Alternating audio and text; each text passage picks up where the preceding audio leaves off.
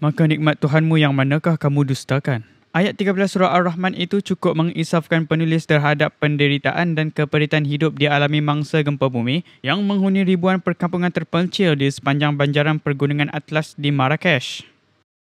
Cuaca ekstrim panas dan debu kering antara Jun hingga Oktober menjadi cabaran memerikkan hidup mereka. Keadaan diburukkan lagi apabila ribuan kediaman dihuni runtuh akibat gegaran gempa bumi kuat 8 September lalu sekaligus meranggut hampir 3,000 nyawa penduduk. Penulis yang menyertai misi kemanusiaan Pertubuhan Muslim Camp Malaysia MCM sukar membayangkan kehidupan keras dilalui mereka yang hidup pada ketinggian lebih 3000 meter dari paras laut. Pada misi bantuan kemanusiaan itu, cuaca panas mencecah 40 darjah Celsius, hamparan batuan dan pasir gunung selain debu kering melatari kediaman dibina penduduk menggunakan lumpur kering.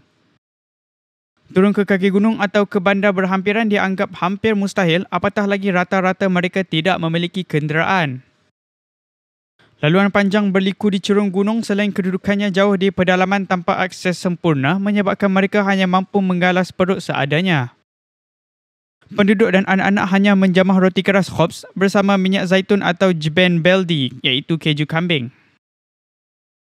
Penulis yang menaiki pacuan empat roda turut berdepan detik cemas apabila kenderaan dinaiki terlanggar bongkah batu serta gagal melepasi pendakian cerun berpasir. Akibatnya, penulis dan timbalan Presiden MCM Muhammad Johari Ismail terpaksa keluar dari kenderaan dan menapak untuk sampai ke lokasi penyerahan bantuan di kampung Amazir Berberg.